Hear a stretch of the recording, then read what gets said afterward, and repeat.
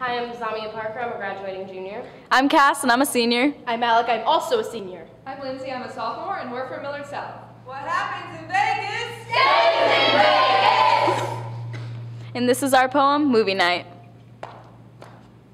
Movie night! So, what do y'all want to watch tonight? Let's watch something scary. How about that new movie Split? I've heard good things about it. Kevin has 23 distinct personalities. The 24th is about to be unleashed. No, I'm Alec and I have dissociative identity disorder. I have nine alters, which is short for alternate personalities. They all have their own Thoughts, beliefs, and interests. They're sentient. We know each other exist. It isn't some mystery to me. When Kevin is away, the personalities come out to play, and they kidnap three girls. Boy! My alters are no more likely to be violent than you are. I'm just a kid. I didn't ask for this. What the directors of, D- of Split don't realize is that DID is a serious mental disorder. Not a plot device for your crappy horror flick. Mm, you can't go wrong with a Disney movie.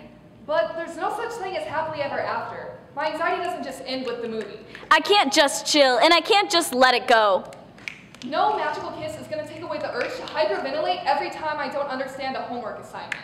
Unlike Elsa, I don't have any gloves to hide my anxiety. I have a chemical imbalance in my brain and it doesn't really work that way. Willing to cope with something that doesn't just magically go away doesn't make me weak. It makes me strong. Happily ever after isn't the end goal, it's a constant battle. And the battle is worth fighting.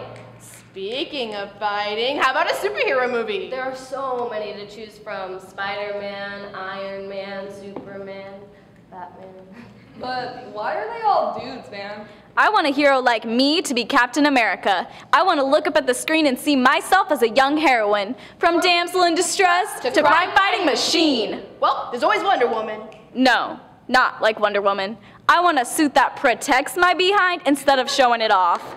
But if I don't have perky breasts or a blemish-free face, then I'm probably the witch in the Disney fairy tales. Why is it that us girls Are 26% more likely to be shown partially naked? Most of whom are 12 to 20 years old. According to Hollywood, a woman's life isn't fulfilled if she doesn't have a strong man on her arm. TV teaches little girls they're better off Silent and sexy. That's why only 30% of speaking characters are women. When will Hollywood show me as more than a walking pair of breasts to drool over? Hollywood won't get a dime from us. Because until the script changes, everyone will think he's a violent killer. Everyone will treat anxiety like an afterthought. Everyone will look at women as sexy sidekicks. Hollywood, Get your act together!